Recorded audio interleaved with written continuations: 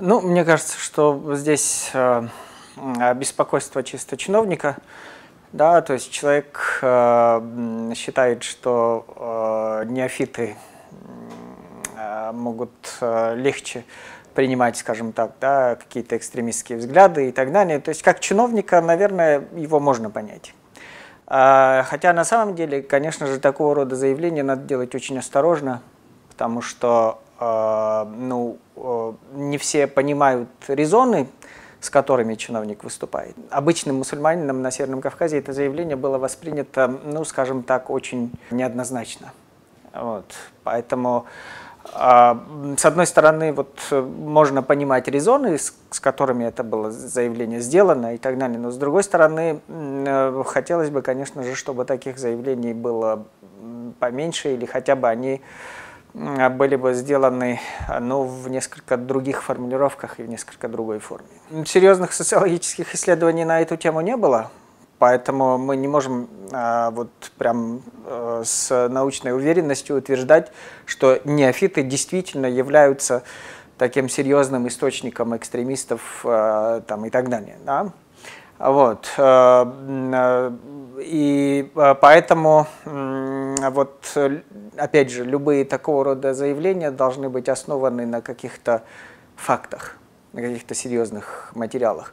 Ну, понятно, что есть э, и из числа неофитов тоже люди, которые там э, заражены экстремистской идеологией, э, уехали в э, Сирию и так далее.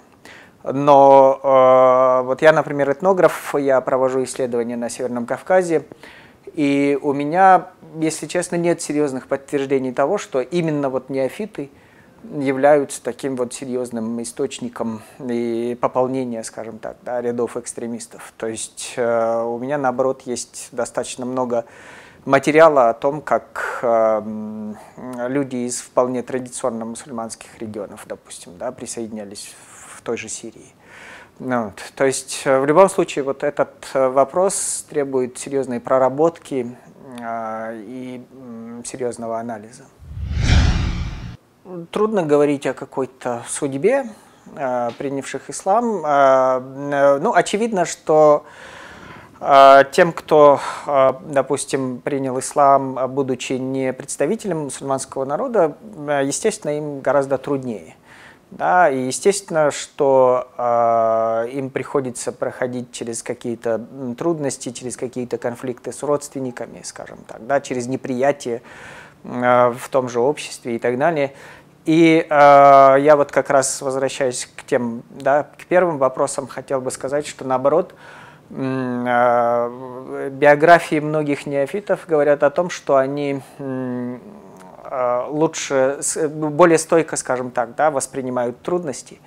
И как раз-таки многие из них менее подвержены каким-то Э, радикальным там, да, решениям и каким-то радикальным там, идеологическим установкам. То есть эти люди, наоборот, часто очень э, демонстрируют очень, ну, более высокую, скажем так, даже психологическую устойчивость по сравнению с, э, с другими мусульманами, э, с теми, кто, вот, скажем так, из традиционных да, э, народов, из традиционных регионов. Э, и вот этот, этот, этот факт, кстати, тоже вот, очень достоин серьезного внимания и интереса.